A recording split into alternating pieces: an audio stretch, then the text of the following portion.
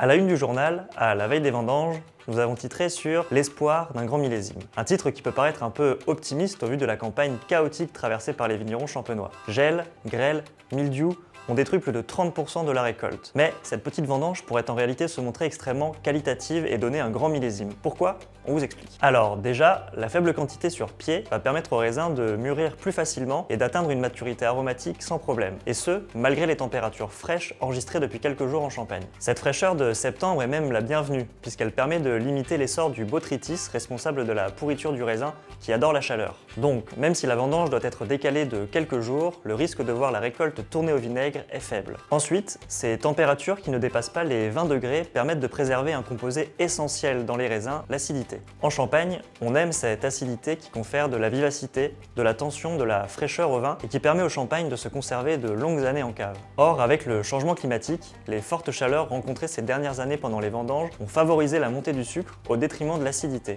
C'est donc plutôt une bonne nouvelle d'avoir cette vendange tardive et fraîche afin de conserver des taux d'acidité que l'on ne trouvait plus dans les vins ces dernières années et qui sont typiques du style champenois. D'ailleurs, les dernières analyses réalisées par les professionnels attestent d'un profil aromatique similaire à des années comme 2012, qui fut un excellent millésime. Alors, même s'il convient de rester prudent à ce stade et que la qualité de la récolte sera jugée une fois la vendange terminée, le millésime 2024 pourrait se transformer en millésime de grande qualité, ce qui serait finalement une belle récompense pour les vignerons champenois qui se sont battus toute l'année afin de sauver leurs raisins.